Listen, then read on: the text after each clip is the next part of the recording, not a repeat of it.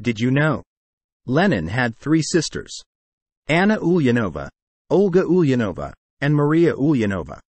Although Lenin was the main character of the revolution, the sisters shouldn't be left unmentioned. They did a lot of work for their communist utopia. They organized the underground press to spread Soviet propaganda. And even helped to organize prison breaks from the Siberian gulags. In conclusion, they were dedicated and tireless revolutionaries who made significant contributions to the Russian Revolution. They were strong and intelligent women who helped to shape the course of history.